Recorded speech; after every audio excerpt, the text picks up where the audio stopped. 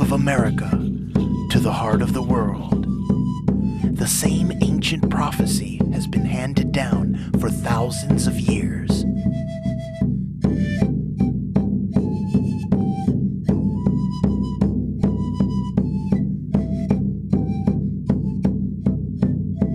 In 1993, the Eagle, a group of Hopi elders, delivered a warning to the United Nations. Spirituality is being left out everywhere. People digging here, dumping things in rivers, earthquakes, and the things that's happened around the world. I call it spiritual blindness.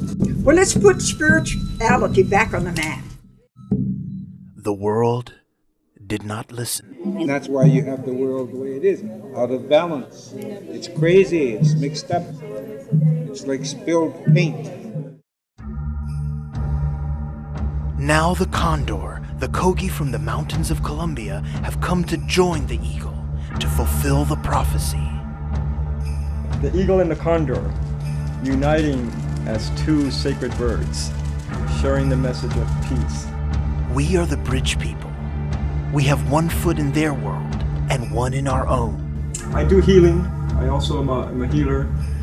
I do now honor myself as a shaman. A shaman is somebody who is the bridge between the unseen world and the, the seen world. We have been chosen to help deliver the last message. And I believe what the Mayan people say there's going to be a change and a shift in our mentality.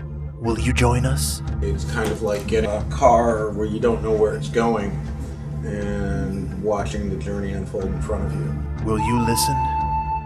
We'll choose the battleground and we'll choose the time.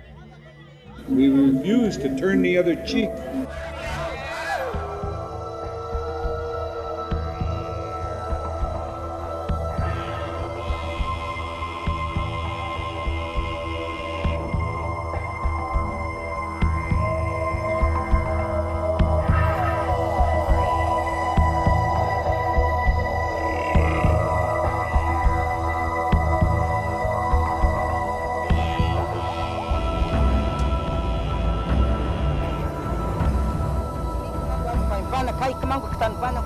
지금꺾여있 기.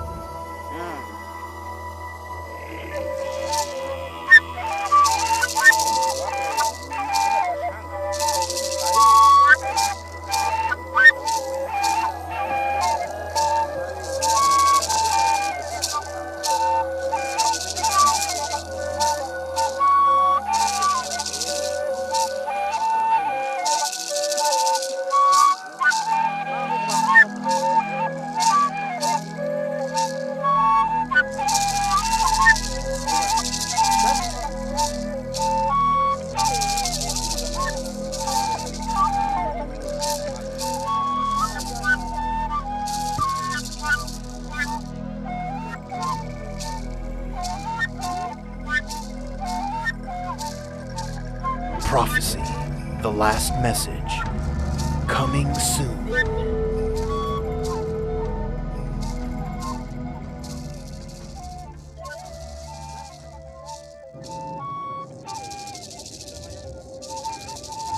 Never too late to save the world.